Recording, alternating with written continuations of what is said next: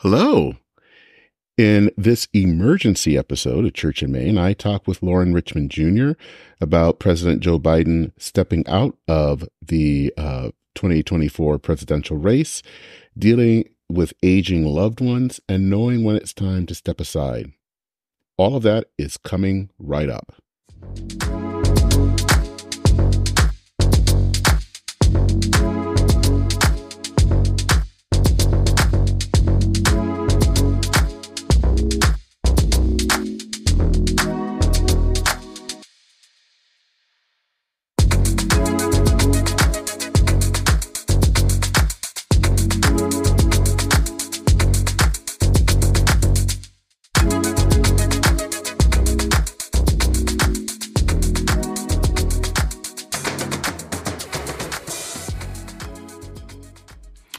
Hello, everyone, and welcome to Church and Main, a podcast for people interested at the intersection of faith and our modern world. I'm Dennis Sanders, your host. Well, we all thought that this might happen. In fact, we had a feeling it was going to happen at some point, but that still made it shocking when it did happen. Of course, I am talking about the fact of Joe Biden, President Joe Biden, leaving the presidential race. I got the news around 1 p.m. Central Time, uh, and um, he released a letter on Twitter announcing that he was leaving the presidential race. And then maybe several minutes later, uh, another announcement came up across that he had endorsed uh, Vice President Vice President Kamala Harris uh, to take his place. Um, I got a text uh, a few hours later from my colleague and fellow podcaster, Loren Richmond Jr., and he wanted to talk about this, um, really talk about a related issue to this, and that is knowing when it's time to step aside. Now, the issue surrounding Joe Biden and his uh, apparent cognitive decline is really a story that many families face we can talk about this as a political issue, but it's also a family issue. And so uh, Loren really wanted to talk about this. He um, talked wanted to talk about how it's happening in his own life, and we also talked about how churches can respond. So, um, as I said, this is kind of a wide ranging conversation. We talk initially about the presidential race, and then move into this discussion about um, dealing with aging parents. So let's listen in to this conversation uh, with Loren Richmond Jr.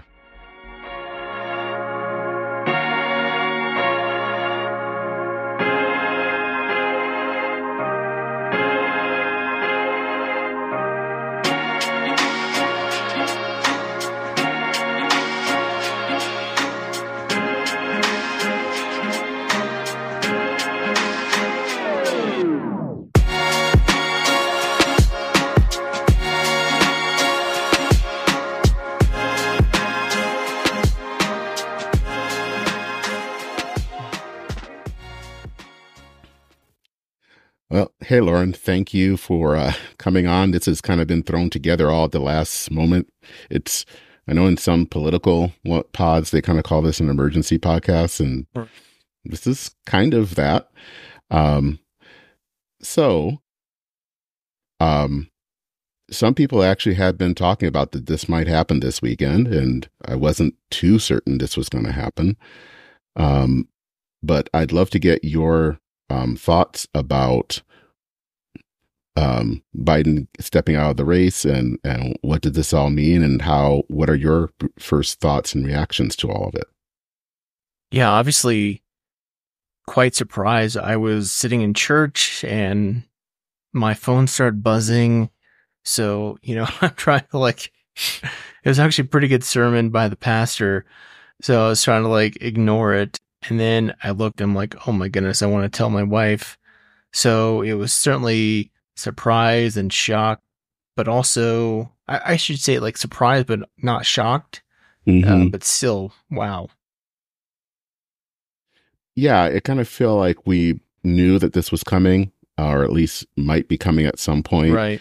Um, it just, but still, when it, um, I was out, um, it was after church and having uh, lunch with my husband, and it just kind of saw it crossover. I actually saw it first on Twitter, but I'm immediately Mhm. when I see something on Twitter, I'm a little skeptical. Right. Um, right.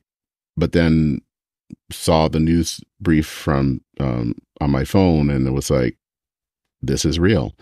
Yeah. Um, and just kind of knew it was happening, but still was surprising um, mm-hmm. that it happened. Um, what do you think is going to be happening moving forward? I mean, I've been I've been following on threads and just scanning the the Apple News on my phone quite a lot throughout the day. hmm And it seems like there's a lot of unity around Harris. I imagine in the days, maybe weeks, but probably days, there'll be some opportunity for dissension.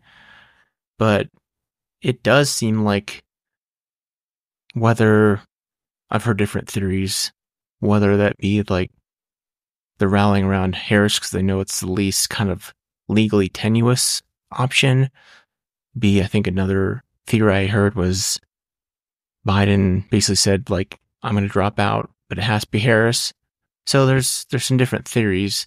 It certainly makes the most sense, I would think, practically speaking, to say like, hey, we have to go with Harris, and there's just not enough time to do anything else. Yeah, I think it's kind of funny. Personally, she's not my favorite, but I think looking at this from a objective viewpoint, Mm-hmm. with the amount of time that they have before now and the convention, I don't think that they have a huge amount of time to try to decide. Right. And Right. to me, I think the more important thing is who do you get to balance out the ticket? Um, yeah. Yeah. and um and i think you know well I, I don't think she's the strongest candidate she's also been vice president for the last four years so Mm-hmm. i'm i'm hoping she was paying attention over the and taking Right. notes over those last four years and i think again if they can um get a, a strong vice presidential candidate um that can make her more make her appealing and hopefully gain some votes So there might can be we a stay chance. here for a minute? Yeah, yeah, yeah. So I'm hearing, you know, I've heard different things like Mark Kelly from Arizona, Mhm. uh, Disciple Zone, Andy. How do you even say his name? I don't know. I should Bashar, Bashir, Bashir. Bashir. I should know Yeah. that. Forgive me, Disciple friends. Um, Kentucky Governor Wright. Um, who else? Shapiro from Pennsylvania. Shapiro from who's Pennsylvania. Cooper, Um, right? From Roy Cooper from North Carolina. You know, there's some talk that I've seen on about Buttigieg, but I don't really think that'd be a good No, option. I don't Um, think so, I either. think, I mean, let's be frank. Like, Biden is is doing this because he thinks, you know, Trump not winning is the most important thing. So if we're thinking about what's the most important for Trump not to win, I think you have to pick someone from a swing state like Shapiro or Kelly. I mean, maybe Cooper, but I don't. I think, I personally think, I mean, Shapiro would be an obvious choice just because Pennsylvania is so important. Uh, I think putting that blue Shapiro's- the obvious choice because it's Yeah. it's probably uh the main um swing state that you need. Um, Right. The Democrats really can't win um, Right. the White House without it. He's somewhat of a moderate. Um, Mhm. which I think can appeal to people. I think he is young. Um, Mhm. I think he- he is, was 70, so he's like 51, um, Mhm. which actually would finally put someone in my generation in the White House. um, um, but um, that one would be the the most, I think, most realistic. I think Beshear has some good talent. I mean, obviously, he's been able to win twice in, in a Right, very red state, which is I mean, do you think he's going to carry Kentucky? no, he would not And- carry. Do you think Beshear on the ticket is going to carry? I mean, Ohio's red, essentially red these days. Is he going to carry Mhm. Wisconsin or Michigan? Just his presence. I don't. I I don't, don't think, think, so. he's that big of a name. I think it would, you know, when I people are talked about um, picking JD Vance, and I had said mm-hmm. that in both the announcement from from Trump and from um, in listening to Vance's speech, he kept mentioning a few states: Pennsylvania, Michigan, right. I right. think Wisconsin, and Minnesota. Mm-hmm. He was mm-hmm. trying. That's why he was picked, is right. because he was going to pick up those states, and yep. I think that the Democrats that would have to pick up pick someone that is going to be attracted to those swing states. And of all of those people, um, it would have to be um, Shapiro. Yeah, I, I want to second your point. I know this is unpopular in a left leaning context, but there really needs to be someone on the ticket who's centrist. Mm-hmm. Uh, I know that's an unpopular opinion amongst progressives. Like, like AOC, not a good choice. Um, someone of that, not a good choice. Um, whether it's fair or not, you know, for some reason, the right in Trump has really been successful in painting Biden as as a leftist. And to some extent, I think Biden over the last months has sort of responded to that critique. Some of his the the thing that comes to mind is certainly his his immigration, some of his immigration policies of recent. His uh, there's something else I'm blanking on, but there's been some efforts by the Biden administration to kind of move centrist, which I think is implicitly a response to this critique, fair or not, that he's perceived as, or at least his actions are perceived as too far left. Mm-hmm. Yeah, and I, I don't know. I, I think sometimes he may have actually gone a little bit more, still pushing left. Um, but I think having someone on the ticket that is not that is more centrist can blunt some criticisms and against um, Harris because they will come. Um, and partially because she is, I, I think, far more progressive um, mm-hmm. than than Biden. So you're going to need someone that can bite, that can balance the ticket, that can maybe blunt some criticism, not all criticism, but some mm-hmm. criticism. Um, I'm kind of surprised that there would be people that would want to have another progressive on the ticket because it's kind of like, um, have you been paying attention this, these last well, few, few months. This was going to be a this was going to be a podcast episode of ours, you know, Dennis. That I'm not sure many on the left are paying attention, which I think is the biggest mm. problem.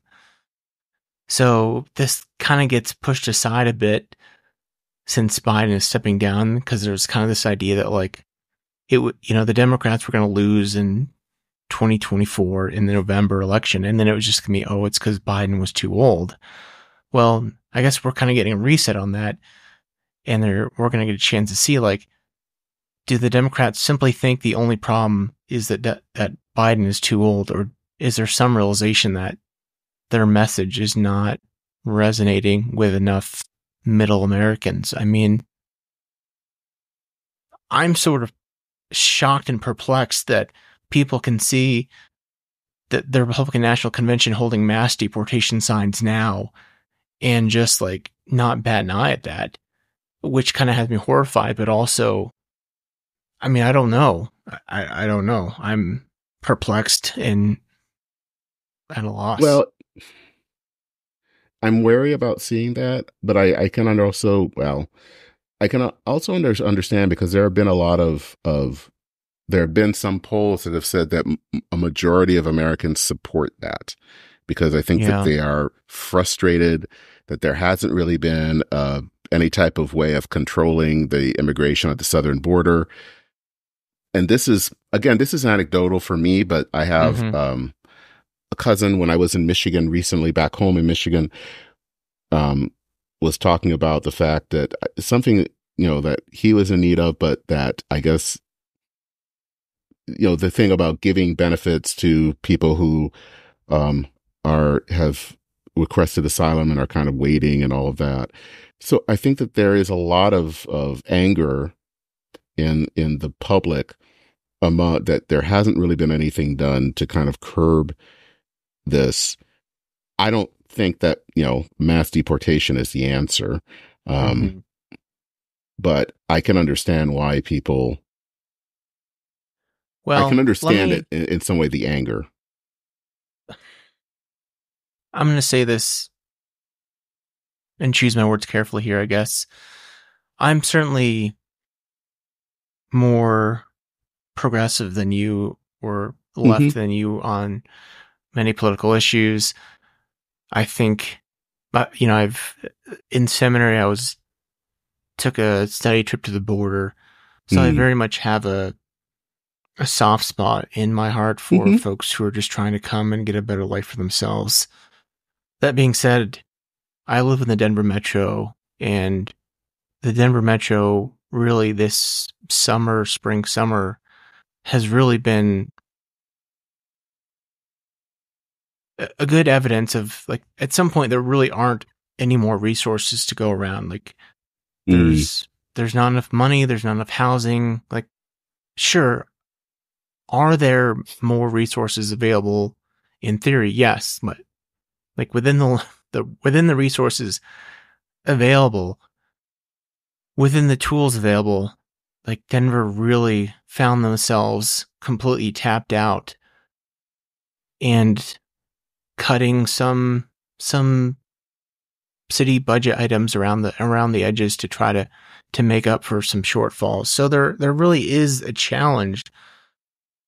And I think that's I think that's the I think that's one of the limitations from the, the left just is, does not address is yes, we can say like especially from a faith perspective that we can mm-hmm. talk about abundance and welcome. And that's true. And and I think again probably differently than you that tax policy could add to the budget and help address many of these issues. But in the short term, like there is not enough resources, um, and there's not enough. Like Denver does not have enough housing as it is for the residents here. So I don't want to be unwelcoming. I don't want to. I don't want to label and blame immigrants or uh, asylum seekers, migrants as the enemy. I mean, I don't want to dehumanize them. I can totally understand someone in desperation trying to seek something better for the family, but I think it does help or would be helpful to have a realistic conversation about what the actual scope of the scenario is rather than talking mm-hmm. about, oh, there's plenty of resources. Well, there may be, but we're not going to get to those resources anytime soon. Well, and I think, you know, as a person of faith, I do have a hard time. That's where I, I don't, like, I get the, the horror about the whole seeing signs about mass deportation because I think mm-hmm. that that's not, that's not the best way of handling this.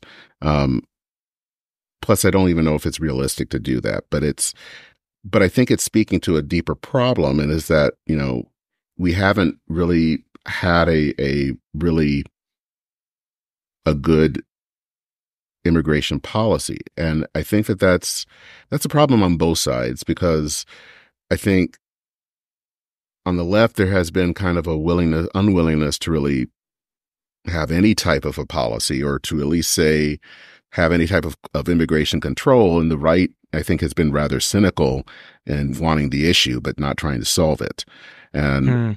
i think we have to find ways of trying to solve that issue. And I think sometimes, especially, the church has not been helpful in that because, um, at least in our our our uh, in in the neighborhood that we're in, in, in progressive um, churches, because we kind of just kind of say, "Well, Jesus welcomed the stranger," and mm-hmm. it's like, I agree with that. That is important, um, but that also doesn't mean that we just have a policy where we have no policy or just say, well, anyone can come. Um, for a lot of different reasons, you know, get you know resources. We don't have to sit. You know, a lot of this is is placing a burden on state on cities and states, um, and that's a lot. And so, how do you deal with that? How do we also even deal with some national security? And I'm not saying that every potential immigrant is is a threat. That's not what I'm saying, but I am saying sometimes that people can come in who do not mean well. So how do you deal with that? And how do we as as as people of faith deal with those that policy um, and not just kind of either say you know we're not going to have an immigration policy at all or we have to kick the foreigners out which neither of which I think are helpful. Yeah, I would still certainly and and certainly we have some disagreement on this issue, which is fine. You know, I would certainly lean to one of welcoming and hosp- hospitality, hospitality, uh, hospitality. Obviously, mm-hmm. I would contextualize that with reality that there are in the sh- in you know within context so many resources go around, so we have to be somewhat judicious. While I think perhaps considering how, again, speaking from a faith perspective, how might we be able to be more welcoming and hospitable? But I suppose mm-hmm. we're kind of getting off topic here, maybe. well, n- sort of, but I think it, it's an important issue to talk about. Yeah, and yeah. And I don't know if we're that far apart on this. I think um, we both see the importance of immigration. It's it's not a you know don't have immigration at all or open borders. I think it's really the the question of how do we manage that, and I mm-hmm. think the problem is is that I don't really feel that our leaders have been doing a good job on either uh, at all. Period. Yeah, it seems like we are living in a time where there's less motivation for good faith efforts and instead just opportunity for grandstanding and hmm No, and I, I, agree with that. Uh, there is no such thing as good faith effort anymore. Everything right. is always bad. But I guess, uh, you know, one probably final question before we kind of move on a little bit to something related is, um, you know, where do you see all of this? How do you see the, the faith community handling all of this? Uh, you know, we kind of talked a little bit about it with, you know, the vice presidential pick or mm-hmm. immigration, but, but how do you see faith communities? How do we, as people of faith, ha- handle this? And how can we be supportive of, of, of a, you know, whatever candidate we're, we're choosing without I'm just going to say it without being yeah. assholes. Well, I, it's funny when I was waiting for you to send me the link here for I was just like surfing YouTube and seeing like a a trailer for the next God's Not Dead and of course it's like painting this whoever the the protagonist there is like this savior of humanity, savior of Christianity and like the evil godless Democrats. So gosh, I mean, I think those are both caricatured both ways from either side of the anybody who's a Republican is obviously a Christian nationalist. Anybody who's a Democrat is obviously a godless communist, atheist, whatever. And I wish there's there's more nuance and context. So. I guess mm-hmm. I mean I think it has to start just with prayer and humility. I know those are hard to come by. I'm going to certainly pray about. I mean, I, I prayed. I mean, when the news, when I saw the news on my phone this morning, you know, I, I immediately said a prayer and I'm going to keep praying. And I think, I mean, I, th- I can't remember where I heard this, but I think it, there's a lot of truth that like when we pray for our enemies, like we don't necessarily become best friends with them, but we develop a recognition of their humanity. Hmm. Hmm. Well, that's an important thing I think that we need to hear today because we aren't always good about that. But I wanted to move on. You wanted, when we were talking about this, to talk about an issue that is related to this. Right. Um, obviously, one of the one of the reasons that uh, Biden, Joe Biden, decided to pull out of the presidential race is because of of concerns concerning age, but it's not really as much age as it is how he's aging and, and, um, certain issues like cognitive decline. Um, and if you are of a certain age, um, we all at some point have a parent that we have to deal with um, that is dealing with those issues um, that are not kind of what they once were. Um, and you wanted to talk a little bit about kind of knowing when it's time to kind of hang up or, or to, to leave things or to step aside. Um, so I thought I would let you kind of talk a little bit about that and kind of even some of your own concerns and thing and own experiences that you were dealing with. Yeah, so I found it kind of comical throughout the last couple months when like both sides really were like critiquing the age and physical limitations of the other. Like it's kind of like, don't you all see what you're doing? I mean, for as much as, as for much as Biden has taken criticism over the last several months, it's like from Republicans, it's like Republicans, do you see what you're doing? I mean, look at yeah, great. N- not like Trump was. yeah, and then of youth. You know, it was maybe it was later. Maybe it was like February, March, April, where I I felt like I, there was more like, oh, Trump is this, you know, is struggling in his own right, and again, I was thinking, what Democrats, do you know what you're doing here? Like, so I, I found it quite perplexing is again a way to say it, but it, it got me thinking our, our conversation here and certainly about this topic, it got me thinking about, I recently had to have a difficult conversation with my parents. My dad is 72. I don't even know, to be honest. 72, 73. He's been he's been dealing with Parkinson's. He was diagnosed about two, mm. three hmm. years ago, really about three years too late, in all honesty. Um, so obviously, like being on medicine has really like slowed the decline. Thank, thank God. Um, but it's still, it's still pretty scary. I mean, I was, I was over there, well, a couple times, obviously recently, but, uh, one recent time I just like, man, this is, it's scary. It's, it's really scary. And I remember having a conversation with my wife one night when we were trying to get to sleep, and she said, "You know, are we?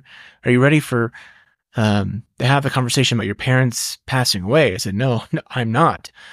Um, so it's a Dennis. I know you're you're you're right there. You've been yep been there, and and my condolences and my heart goes out to you because just being on this other side of it, it's I can only imagine what it's like to be on the other side. So, um, yeah may God's peace be with you as you continue to, you and your families, you continue to mourn and grieve and, and, process all this. So I, my mom was, it was like a, Denver had a hot streak like the whole country did mm-hmm. as we're recording this a week, two weeks ago. I can't remember. And it was going to be this, that weekend, like 100, 101, 102, back to back to back. And my mom serves at a food pantry and Monday of the week, when I saw the forecast, I said, Mom, you need to cancel because it's outside. It's outside for Ooh. three, four, five, six hours. I said, Mom, you need to cancel. Monday, I said, Mom, you need to cancel. No, I can't cancel. So Friday morning comes around. I'm worried sick, worried sick, praying, worried sick. I'm just like, she's going to end up at the hospital today. So, you know, I go to bed. I called her like at night. Oh, I'm fine. I'm like, great. Okay. I was wrong. I'm great sure enough, like next morning, I had a call from my sister, like, "Oh yeah, mom went to the hospital at 2 a.m. last night," and it was nobody knows, but it's probably heat related, sort of a heat allergic reaction. Because again, it was like 100 degrees all day, and so my mom's doing this food pantry, good, good ministry which she loves. My dad is serving a very small Baptist church and still to be frank, fruitful in ministry. Like he he just baptized a couple people, I think, recently. Like, I mean, how many churches, Dennis, we know who've not baptized anybody for years? Uh, obviously, he has a different uh, evangelistical evangelical focus than some of our disciples' friends or mainline friends, but still, right? Um, but it's just like a.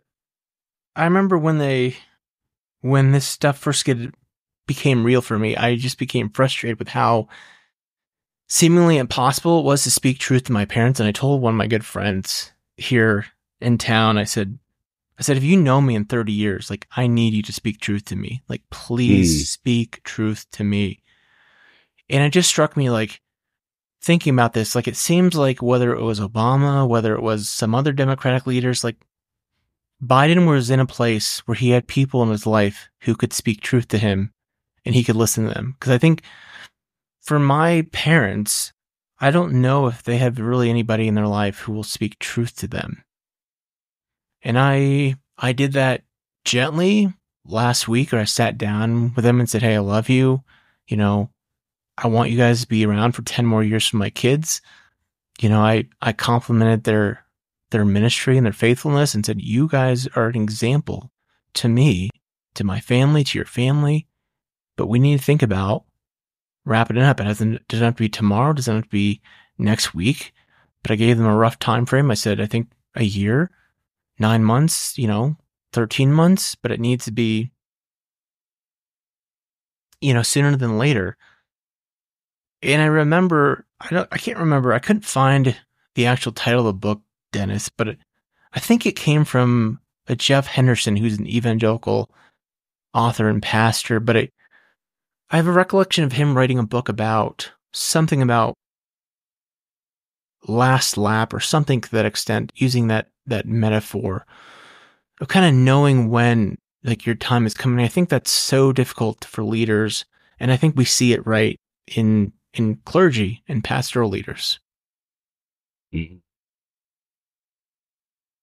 So, I mean, kind of from your experience, I mean, how do you have that conversation to tell people it's time to step aside or time to, for help? Um, yeah, especially I mean, I if used, someone, you know, go ahead. Yeah, I used the the the nonviolent communication kind of framework, the Marshall, hmm. I think Marshall Rosenberg, mm-hmm. where it's like you observe, you share your feelings, and I'm already forgetting the second half of it the four steps observe, share feelings, make requests or it's need and then request, I think something to that extent. But that's basically what I said. I said, you know, I, I'm observing mom and dad that you seem to be in the hospital a lot. Like it seems in my, I'm laughing rather than crying, right? Um, mm-hmm. you know, I, I said it makes me feel nervous and scared. And like I said, I, I said, I want you all to be around for my children for at least 10 more years. And I said, uh, can we, can we figure something out here? So that's, I was surprised about how well they received it, frankly. Hmm. Um, but also I think it would help if it was a peer, not their son or child, you know? Mm-hmm. Though the thing is, is that it's probably more often than not going to be a son or a child or a son-in-law or something like that. It's going to be mm-hmm. people, um, because sometimes the peer may not always see the same things either. Yeah. Um, or might not be in the same place to say that. Um, so, I mean, again, know, I guess that tracks right with what we're talking yeah. about nationally. With it seems like the, the reporting was right that Jill Biden was supportive of of Joe, and it seems like it was not necessarily peers, but it was.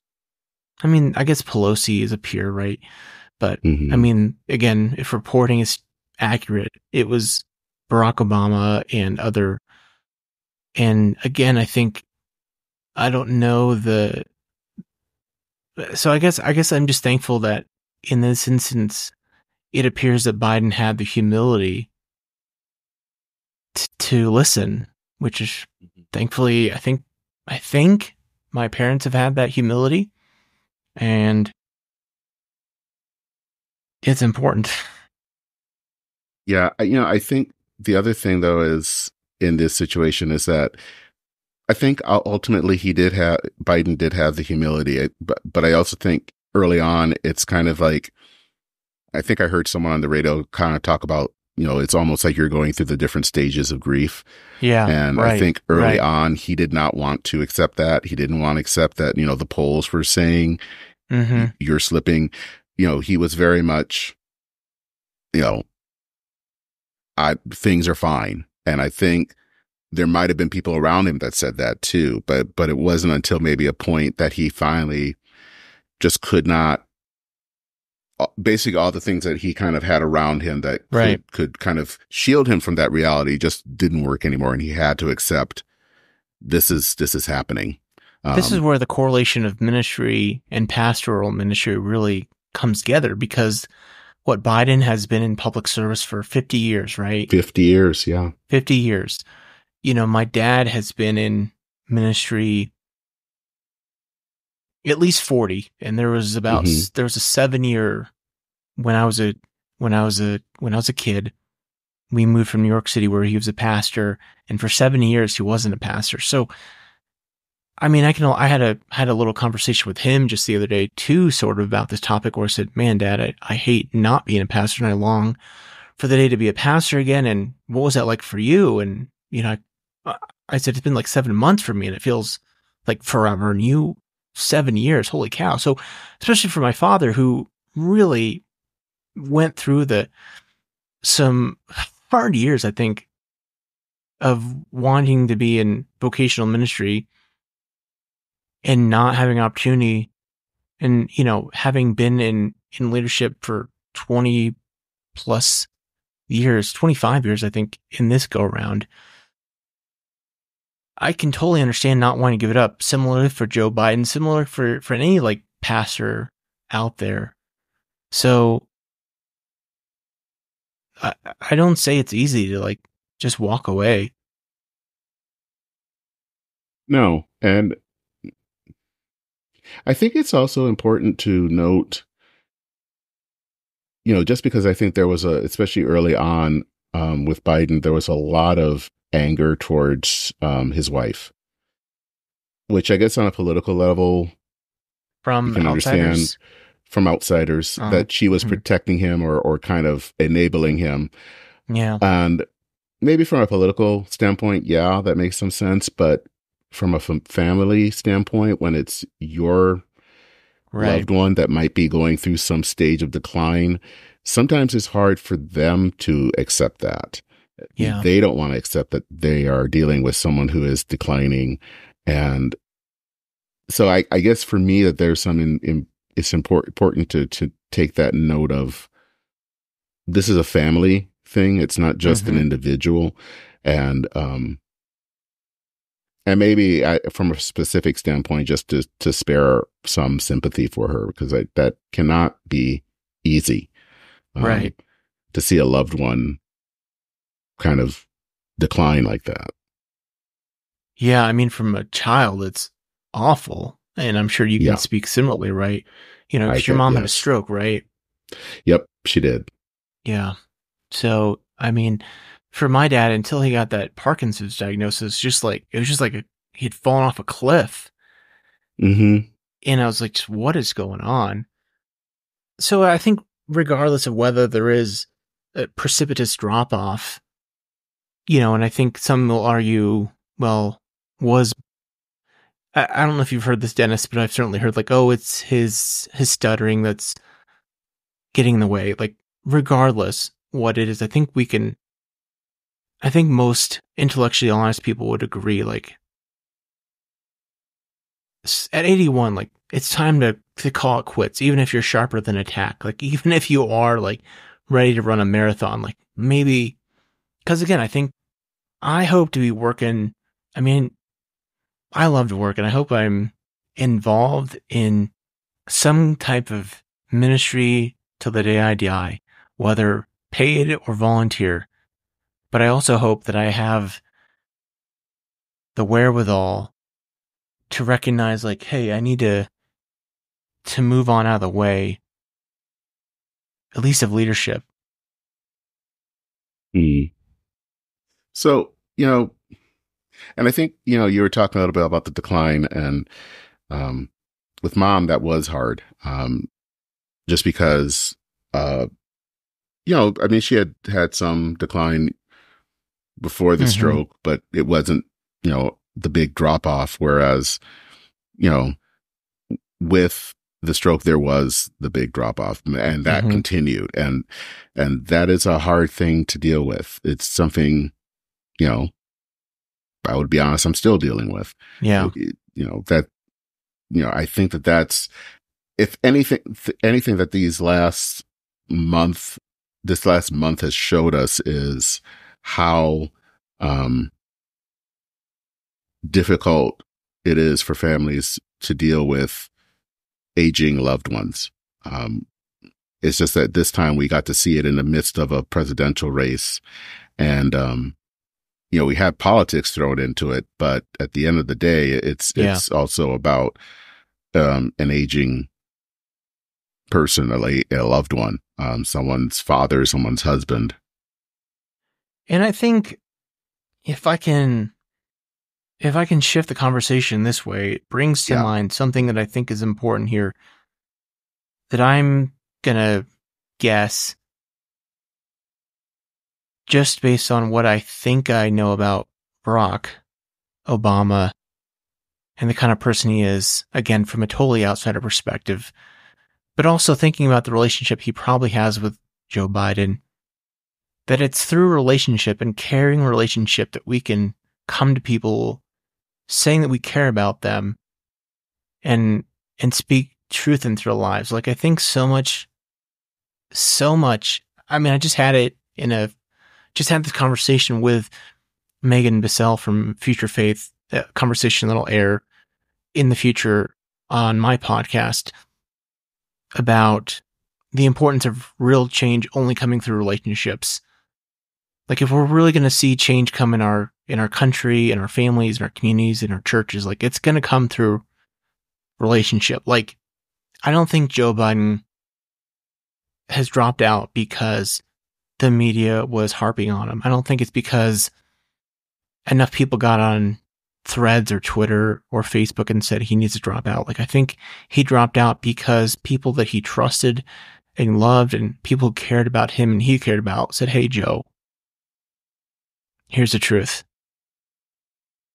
And that's what we need more of.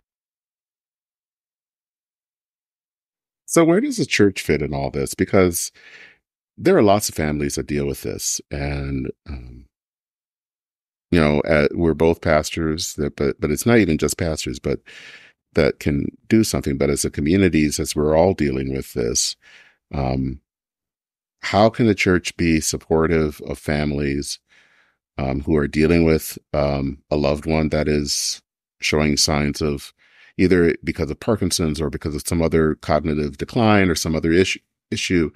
How can um, we support them and support the person at the center and who's dealing with all of this?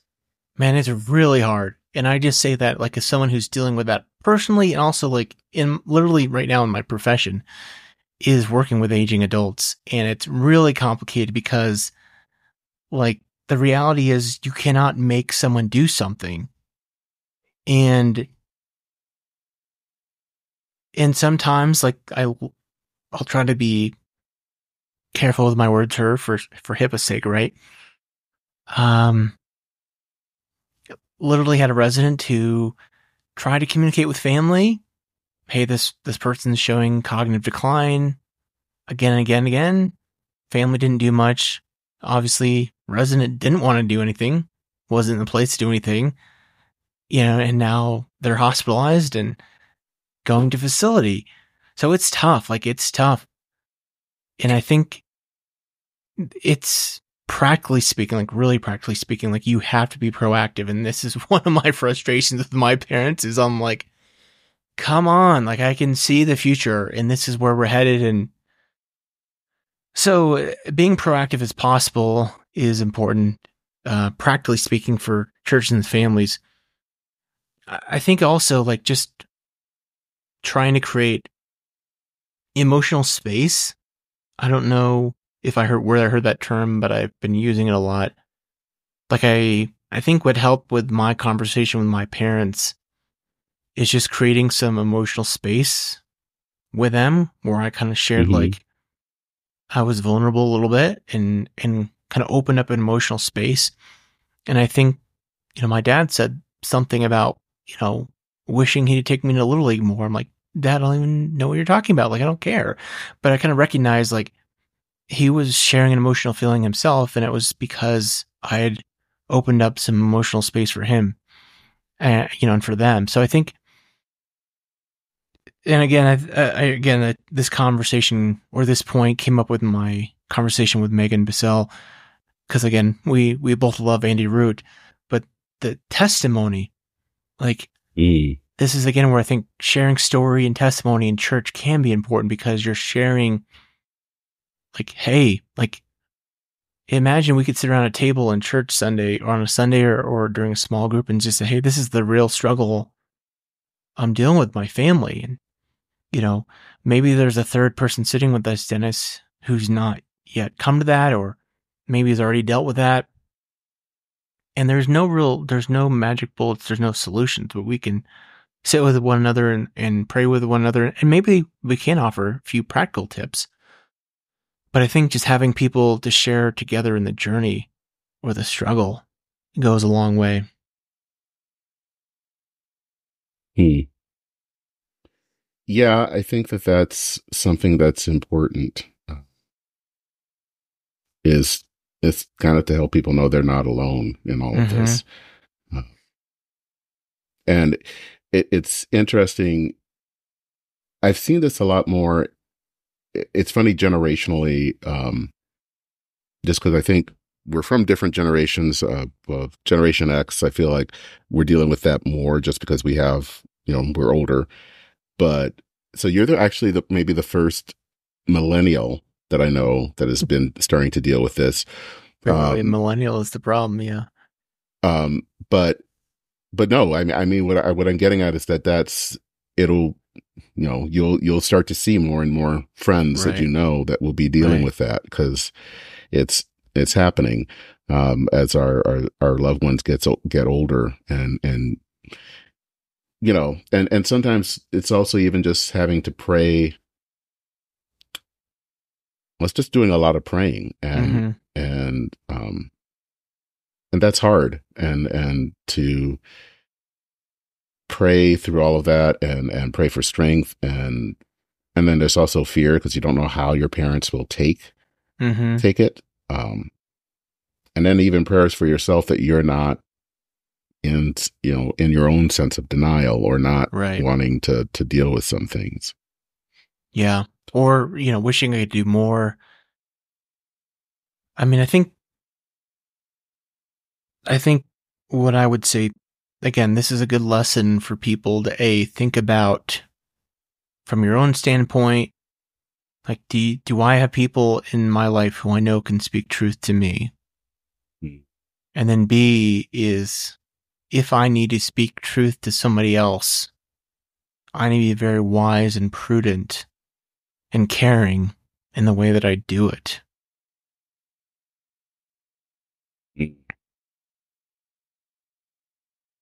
So in a ministry setting there are some cases not many but are some and it may not be necessarily a pastor i have heard situations of uh, a church musician Mm-hmm. or Yep. a church secretary Yep. that you know are just not as on the Right. ball for whatever reason and they haven't left and how do you speak to them because uh, you know there have been lots of cases where um churches don't and they kind of just don't want to deal with the issue because they Yeah. are are you know they just don't want to deal with the conflict which is understandable I think that's the worst, where it's kind of like just hoping they'll go away.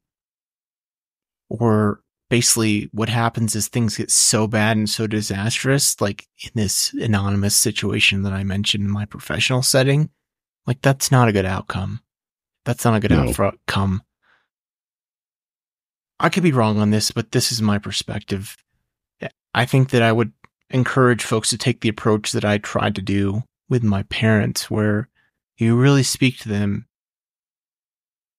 and honor their commitment in their ministry and their testimony and their legacy. And then, like I said, for my dad, like I said, hey, we'll like we'll throw you a ministry retirement party. Like we'll you know we'll celebrate. Like you have been faithful. I can't remember if I used these words or not, but you know I said t- something to the extent of like you know well done, good and faithful servant. Like is accurate. For my father, for my mom, for many long time church volunteers, like you need to, I mean, this is getting really cut and dry. Like sometimes you need to be able to fire volunteers, whether mm-hmm. they're paid or not. And again, I wouldn't fire them. I would say try to gently encourage them toward other options. Hmm. Yeah, I think it kind of reminds me there's a I don't know if you've ever watched the TV series uh, Grace and Frankie. Um, was on Netflix several years ago, but um, one of the characters was a, a lawyer who was semi-retired, and um, he was having to deal with a secretary who was starting to kind of um, not be as on the ball as she used to be. Mm-hmm. And he finally has a talk with her. And what she reveals is she's been there staying on because he was starting to not be on the ball as he used to be. um, and so, I mean, they ended up both deciding it was time to, yeah. to retire fully. But uh, it was just kind of an interesting way of how they were trying to deal with this very delicate issue, um, you know, for someone that had been working there for such a long time. Um, and how he was trying to deal with it with with gentleness, but how she in some ways turned it around and dealt with it with a, a whole lot of grace as well yeah. to, towards him to allow him to be free to to let go. Yeah. Um, and I think that that might be some of the important thing in all of this is that, that there is a sense of grace. Um, mm-hmm. That what these people have done is important. It matters. Um, and that as you know as they're kind of that it's okay to let go um mm-hmm. and even to walk with them and whatever type of that transition might be it may be something that they get to do something different but it's how do you treat the people those people um in in that time that matters too well to bring this full circle right that's why i've been grateful to see on social media you know these these very honor honorary comments about Biden and his many years of service. You know, I saw something from former President Obama and, and others. And I think it, I think it is important at the, the DNC convention to give him his due. I mean, we probably had disagreements about the effectiveness of his, some of his policies, like many others do. But I think broadly speaking, I think he's a man who's been honorable and ethical and and and tried to do the right thing. And I think we need more of that in our country. And a man of faith. Well, and I will will agree with you with this is that I think when some of that came on, I was a little cynical about it, but as I thought about it more, and even during this discussion, I think that that might be the right note. Mm-hmm. Um, to say that you still matter, that right. you, whether or not if you agree with his policies or not, right. um, that you know you matter. You're not just kicked to the side. You're not yeah, just that's, kind of forgettable. That's even one of the things I told my dad. Like I produce a podcast for my dad, right? I mean, of course, right? Mm-hmm. Podcaster. And I told dad, like, we can still do the podcast even if you quit church. Like, I can set up something video for you. Like, it's, it's good to have things to do. And like, people want to know, like, that they matter. So certainly shoving someone to the side is not the right thing to do. And again, to bring this back to a church context, like, maybe can there be a way for like the church secretary to still have some role? Mm-hmm. Can, you know, can she come in and help the news secretary? I don't know. It's not going to work if you just like, again, working with aging adults is the term we use. people need stuff to do. Like they just get in trouble if they're just sitting around all day, A, and it's not good for their mental health. So people need something to do. Um, they do. So, well, I think at the end of the day, what this boils down to is dignity. Right. How do yeah. you treat someone, especially in this situation, with dignity? Mm-hmm. Yep. Yep. Well, I know that you are somewhat time limited, and I wanted to try to keep this to a no more than an hour. Um, so before I let you go, um, if people want to follow your podcast, where can they go? Yeah, Future Christian Podcast on all the platforms, and appreciate appreciate the listens and subscribes. All right. Well, Loren, thanks so much for um, being able to kind of work throw this together at, at the last moment. I think that this is an important conversation to have on so many different levels. So yeah, Dennis, we will definitely. Can, t- yeah, yeah, I can yeah. jump in because Jeff did this in your recent episode that I listened to. Let's just say a quick prayer for our nation. Exactly. Right? Yeah. Yep. Yeah. I will let you pray. Okay. Okay. Dear God, thank you so much for Dennis and his ministry here on Church and Main. Thank you for the ministry, uh, the many ministry leaders that this goes out to and are, are navigating these difficult times each and every Sunday, trying to preach and minister to their, their context. I do pray for our nation right now as we, as we continue in a very tumultuous and, and difficult time. I pray for prudence and for grace and for dignity and respect, for love of neighbor, for kindness, for the peace of Christ, God. Ask this in Jesus' name. Amen. Definitely do as a nation right now need our need those prayers. So thank you so much. All right, Loren. I will talk to you later. Take care. All right.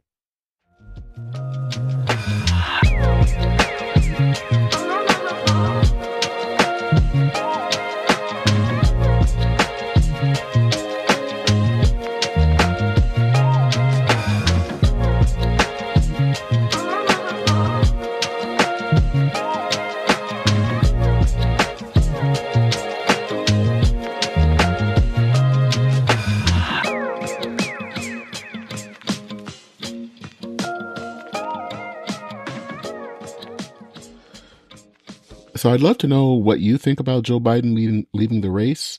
Um, what are you thinking about the state of politics?